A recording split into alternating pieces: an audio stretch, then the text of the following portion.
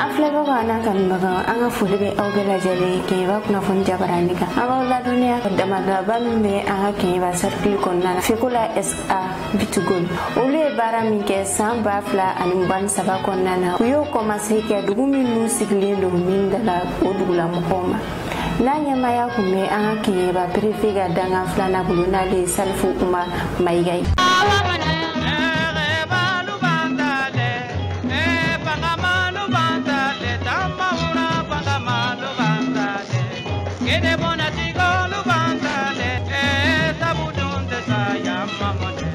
fila ka taa bila tile bi saba la san b'a fila ani mugan na ne ni kɛra sababu ye ka dugutigi musow ani sifilakaw k'u bɛɛ darajɛ ne ni baara ninnu kɛra fatumata bintu sumare fɛ spécialiste de développement communautaire ye bitigoli la kɛɲɛba kunnafoni tɔgɔra fatugu fofana ale tun bɛ kɛnɛ kan a sera ka bakuluba min sɔrɔ mamadu magasa ale bɛ ɲɛfɔli kɛ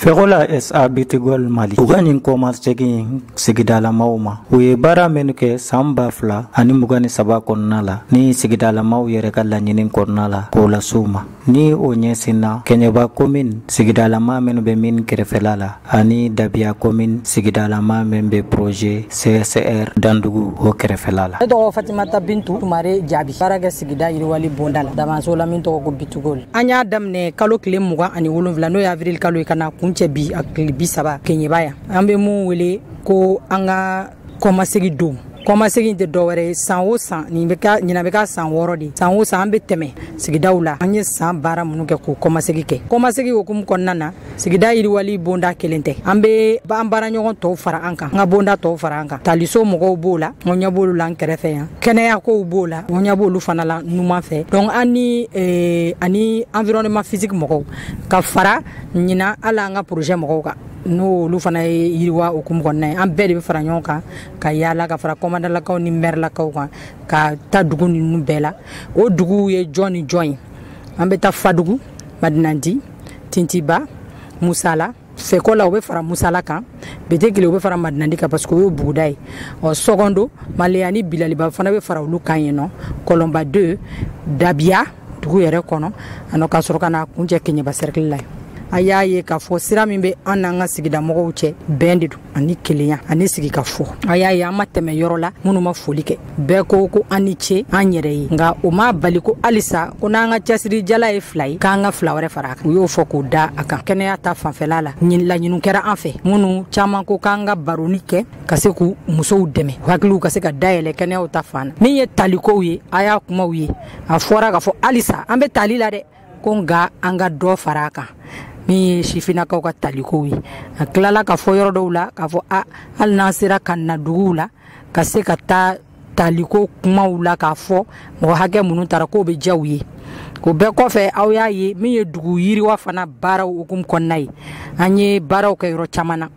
u yɛrɛ ko ko awɔ a baaraw kɛla ten u ka duguw la bɔn dugu caman taw bɛ yen halisa olu fana ko ko dafalanw b'u taw jɛ k'an k'a lajɛ an ka se k'olu fana dafa bɔn ninnu bɛɛ ye kumaw ye aw ye min mɛn min ye hali eh, environnement physique mɔgɔw fana ta ye aw y'a ye k'a fɔ a yera k'a fɔ halisa an ka wasa don kungo kɔnɔ sogow fana eh, lakanali ma an bɛ dɔ la dɛ ko mɛ an ka dɔ fara a kan donc nin bɛɛ ye kumaw ye min kɛra vraiment bonya kɔnɔna na karama kɔnɔna na foli lasera an ma fan bɛɛ fɛ mɛrelakaw y'u ka foliw kɛ kɔmandanlakaw y'u ka foliw kɛ ɔ n'ala sɔnna kuma minnu fana kɛra an fɛ dɔw kun ye laɲiniw ye dɔw kun ye dɛmɛw ye k'a ɲɛsin an ma baara bɛ se ka ɲɛ cogo min na an b'an hakili to nin bɛɛ la n'ala ye san wɛrɛ fana yira an na inshallah an ye ɲɔgɔn sɔrɔ yan an ka se ka o laɲini ninnu caman a k'a sɔrɔ an ye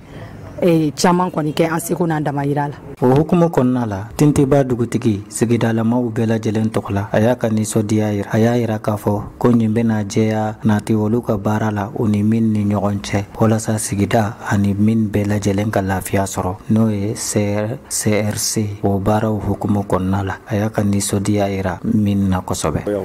ne musatadugu tenteba dugutigi Rabi vraiment alhamdulillah ne bɛ nisɔndiya nin tɛ fo n bɛ dante nisɔndiya min na quoi parce que an domaine bɛ baara la CC la nin yɛrɛ bɛ kɛ sababu ye ka an bɛɛ jɛ ɲɔgɔn ye quoi donc vraiment hakilina dɔ tɛ to ɲɔgɔn na bonya ni fɛngɛ kɔnɔ a jate ne fo ka dama tan bi an ka kɛnɛba prefe ale ka dankan filanan a y'a ka nimisi wasa yira ka foli kɛ ka taa bɛkɔla ye sabitigol mali ye san o san ne ka sɔrɔ a bɛ san wɔɔrɔ bɔ o bɛ nin tagama in kɛ sigidalama ninnu ka duguw la baara minnu kɛra ka se k'u ladɔnniya o la ani k'u ɲininka hamina min b'u la ka se k'o ne salifu umaru mayiga kɛɲɛba perefe dangan filanan kabini samedi an tun y'a daminɛ ka restitution kɛ les activités réalisées en 2023 o kɔmasegu a bɛ kɛ san wo san an bɛ 2024 la mɛ an bɛ ka kɔmasegi min kɛ o ye 2023 kɔmasegiw de k'a daminɛ le 1er janvier 2023 ka se 31 décembre 2023 baara wo baara min kɛra min na taali wo taali min kɛra min na ani baara minnu kɛra a kɛra kalanko ye o a kɛra kɛnɛyako ye o a kɛra jiko ye o a kɛra baɲumankɛ ye o a kɛra fɛn o fɛn min ye min kɛ ka musaka bɔ k'a k'a la donc o komasego an ye olu de kɛ an y'a ta ni departement ni departement departement o departement minnu ɲɛsinnen bɛ environnement la u ye baara minnu kɛ u y'a bɛɛ ɲɛfɔ mɔgɔw ye a kɛra dugu minnu na a kɛra buguda minnu na ani a kɛra maa minnu ye eh, développement communautaire o ɲɔgɔnna kelen kalanko fɛn o fɛn min ye activité min kɛra kalanko la a bɛ fɔra mɔgɔw ye kumasegi kɛra jiko fɛn wo fɛn min ye eh, château bi oro bi no bi pompe minnu kɛra mɔgɔw ye eh, bugudaw la ou bien village la a bɛɛ fɔra ani recrutement taali minnu kɛra dugu wo dugu la a bɛɛ fɔra mɔgɔw ye donc taali ko la a yirala k'a fɔ eh, k'a daminɛ eh, janvier 2023 ka na décembre 2023 la maa minnu taara a ka ca ni maa ba kelen ye o fana detail dira dugu o dugu maa hakɛ min taara ka bitugol fo k'u fo kosɛbɛ parce que olu de kɛra sababu ye ka bɛɛ lajɛlen fara ɲɔgɔn kan ni tile fila olu de kɛra sababu ye ka taa ni an ye duguw bɛɛ la an ni dugutigiw sifinakaw an ni musow ani dugumɔgɔw communauté an k'an sigi eh, ka ni restitution ninnu kɛ eh, k'a fɔ ɲina de ye san wɔɔrɔ restitution ninnu bɛ kɛ donc a ma daminɛ bi donc k'a ɲini halisa bitugol fɛ eh, restitution ninnu bɛ ka kɛ cogo min ni fɛn ma fara kan fɛn kana bɔ a la parce que c'est très important fɛn caman bɛ ka kɛ bitugol bɛ ka wari caman de bɔ ka investi k'a kɛ fɛnw la mɔgɔw yɛrɛ t'a dɔn ko o fɛn ninnu kɛra donc restitution ninnu a bɛ kɛ sababu ye ka vraiment ka kunnafoni di bɛɛ lajɛlen ma ka kunnafoni jɛnsɛn minnu bɛ communauté la minnu tɛ yen a bɛ kɛ sababu ye u bɛɛ k'a dɔn bitugoli bɛ ka baara min kɛ bitigoli jɔyɔrɔ kɛra min ye communauté ye a kɛra o jɔyɔrɔ kɛra min ye dugu ye u jɔyɔrɔ kɛra min ye kɛɲɛba ye ani jamana bɛɛ lajɛlen ye an ka kɛɲɛba mɛr ale ka nɔrɔbila ka fara dabiya mɛr ka nɔrɔbila kan o y'a yira k'a fɔ ko bitigol ale nali u ka kɔmin na o ye nimisi wasa ye wa o ye tare tare de olu ma sabula a nana yiriwa ye nin sigida nunu kɔnɔna la kosɛbɛ min be tali kɛ kalan t'a ɲɛ la musow olu ka lafiya la dumukafa o sabatili la kɛnɛya sabatili la ani sigida lakanali la ani sigida denmisɛnninw olu ka taale la sabu y'a yira k'a fɔ sigidala mɔgɔ ninnu ka denmisɛnninw minnu bɛ baara la pitikɔli la bi ka ca ni ma ba kelen ye ne tɔgɔ ye modibo sisogo ye kɔse kɛɲɛba mɛri la kɛɲɛba mɛri tɔgɔ la n'o ye musa kamara ye ani yɛrɛ tɔgɔ kɛrɛnkɛrɛnna en tant que le conseiller chargé de la mine bitigol an bɔra resisisɔn mun na n'o ye komasegi ye bitigol la 2023 baaraw la an ye nimisi wasa sɔrɔ a la wa an bɛ kɛ seere ye fana parce que u ye nin fɛn fɛn kɛ an bɔra a bɛɛ lajɛlen kalama parce que u tɛ foyi kɛ mun ye acte de développement communautaire ye k'a sɔrɔ mɛrilakaw t'a la ni nin projet ninnu samanba bɛ yen a bɛɛ lajɛlen bɔra communauté yɛrɛ de la communauté yɛrɛ la projet sugandilenw de don donc o hukumu kɔnɔla la fɛn fɛn récision kɛra bi a foyi man kɛ ni mairie ma impliqué a la vraiment an bɛ bitigolu fo o la dante foli mun na an ni bitigolu tɛgɛ di ɲɔgɔn ma a taga bolo ka ɲi kosɛbɛ a ka ɲi yɛrɛ de parce que ni projet de développement fɛn fɛn bɛ kɛla bi mairie de t'a dɔn collectivité de t'a dɔn investissement fɛn fɛn bɛ kan ka kɛ bi dɛmɛ fɛn fɛn bɛ kan ka kɛ bi a bɛɛ bɛ kan ka kɛ mairie de collectivité de donc bitigol c'est notre partenaire clé en réalité an na partenaire ɲɛnama ɲɛnamaba de ye bitigol ye donc o la n bɛ bitigol ɲɛmɔgɔ bɛɛ lajɛlen fɔ departement ɲɛmɔgɔ fɛn fɛn bɛ yen nɔ n'a foli b'a bɛɛ lajɛlen ye Omar Diabaté, deuxième adjoint au maire de la commune rurale de Dabia, et Dabia maire Togola, Moribo Keta. Donc, on est à même pas fait, puis la bitigol bissimila, ou kumben koyuma, ka adaka, bitigol kera partenaire, yanama et anw bolo yanni bitɔn ka don an ka komini kɔnɔ tura de pusɛri fɔlɔ u ye baaraba de k'an ka komini kɔnɔ u donna an ka komini yɛrɛ kɔnɔ dabiya vilazi ani eh, hamo caman u ye baara caman k'o kɔnɔna la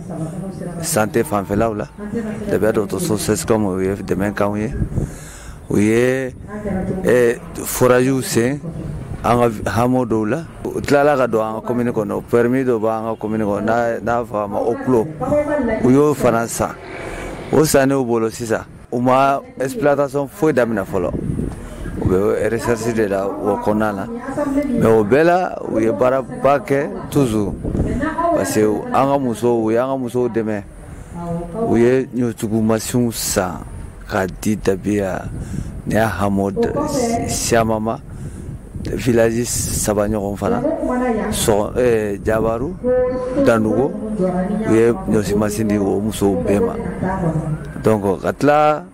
ka musow forme ka safunɛ dilan fɛnw dilan ka du masiri ta ka d'u ma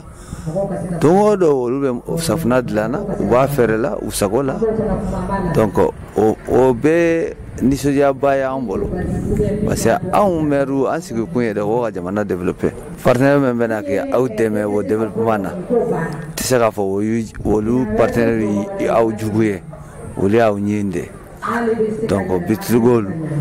Ka nalen an ka commune kɔnɔ an b'a fɔ a ma tare tare. Nin kun y'an ka wulikajɔ ani an ka cɛsiri ye walasa ka kunnafoni jɛlen lase aw tulo kan. Aw ni ce aw ka lamɛnni na aw k'an bɛn a ɲɔgɔnna wɛrɛ la.